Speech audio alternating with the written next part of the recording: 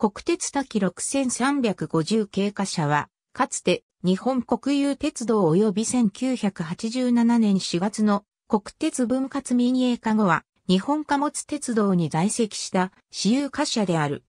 本形式は、ペーストサイズ材専用の25トン石タンク車として1966年5月30日から1974年9月6日にかけて6ロット7両が川崎車用、三菱重工業の2社で製作された。記号番号表記は特殊表記符号、公前置し、小滝と表記する。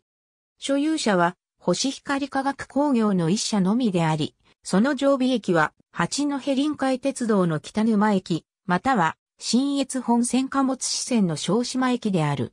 本形式の他にペーストサイズ材を専用種別とする形式には多岐に万300型があるのみである。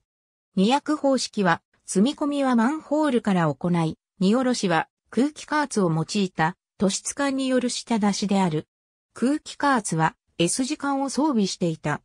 積み荷は常温では粘度が高いため積み込みの際加熱する必要があったが、荷下ろしは際は加熱することなく強制排出である。このため積みに温度低下を防ぐ目的で普通構成のタンク体にグラスウール断熱材を巻き薄鋼板製の規制を装備した。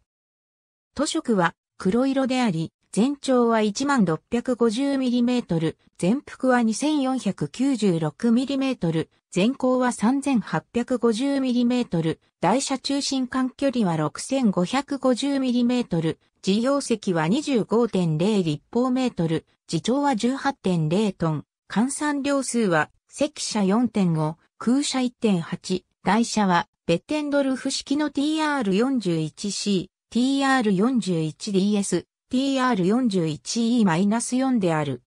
1987年4月の国鉄分割民営化時には2両の車席が JR 貨物に継承されたが、1993年12月に2両とも廃車となり、同時に形式消滅となった。ありがとうございます。